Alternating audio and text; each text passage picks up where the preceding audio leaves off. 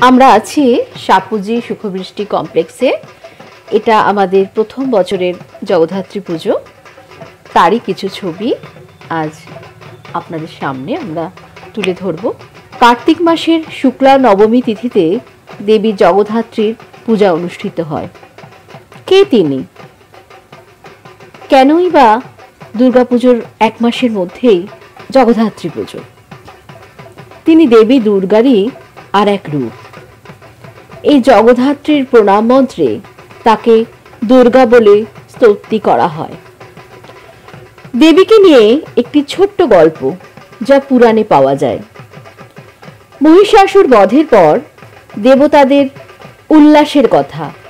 তারা ভেবেছিলেন, দুর্গা যেহেতু তাদেরই সম্মিলিত শক্তির প্রকাশ, তাই অসুর বধ হয়েছে তাদেরই যুগ্ম শক্তিতে।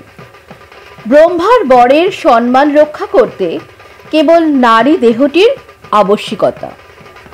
তখন ব্রহ্মা যক্ষের বেশ ধারণ করে তাদের সম্মুখে উপস্থিত হলেন।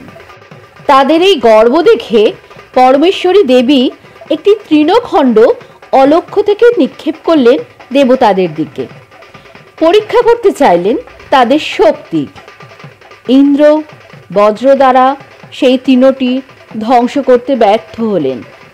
অগ্নি সেই তৃণ দহন করতে পারলেন না। বায়ু অসমর্থ হলেন, তা উড়িয়ে দিতে। বরুণের শক্তি সেই তৃণটুকুর একটি অংশ জলস্রোতে প্লাবিত করতে পারলেন না। দেবতাদের এই দুরবস্থা দেখে তাদের সামনে আবির্ভূতা হলেন এক পরমেশ্বরী সুন্দরী শালঙ্করা চতুর্ভুজা মূর্তি তিনি জগধাত্রী এভাবে দেবতাদের জ্ঞান চক্ষু উন্মীলিত করলেন। বুঝিয়ে দিলেন তিনি এই জগতের ধারিণী শক্তি তিনি জগদ্ধাত্রী।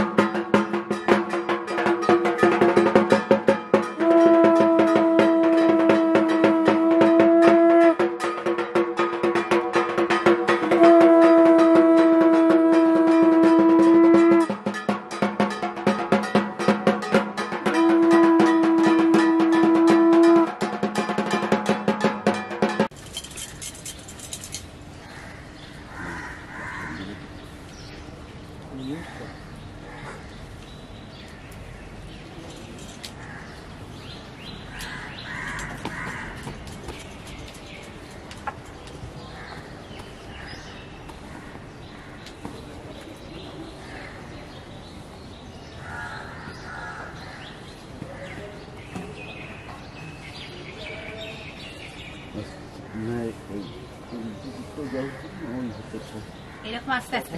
তাহলে পড়বে না। পড়ে যাচ্ছে যেন খুচখুচ করে হ্যাঁ আস্তে আস্তে করে এরকম মুড়ি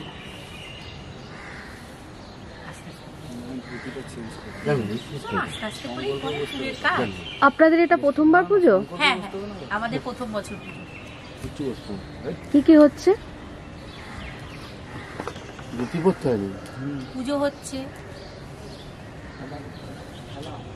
গল্প হচ্ছে চ্যাটার চ্যাটার্জি তো নেই?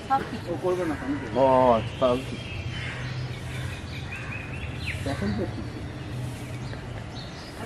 আমরা